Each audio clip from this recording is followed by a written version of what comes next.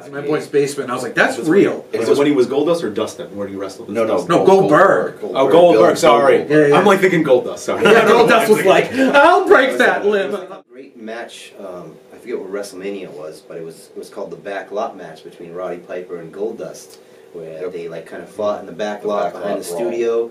And Goldust actually ran Roddy Piper over with the car, like ran into him, and he shattered his elbow and like broke a bunch of bones. But speaking of cocaine, like Roddy Piper did probably didn't do that. That was, uh, I, I believe that was the same year as the O.J. Simpson trial, because a big part of it was they got into a white Bronco and they had a whole overhead scene coming, like running out of the back lot brawl. I love, I love trying to run Attitude people Era. Over. I love Attitude Yeah. Era wrestling. I just I love the storylines.